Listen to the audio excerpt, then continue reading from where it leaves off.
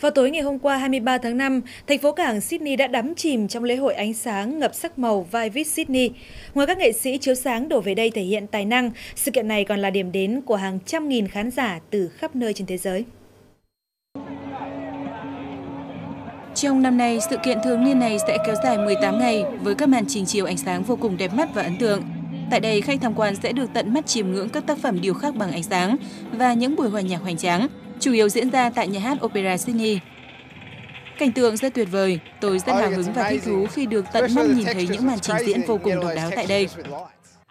Buổi trình diễn rất ngoạn mục bởi những gì bạn nhìn thấy ở đây không dễ bắt gặp trong cuộc sống thường ngày.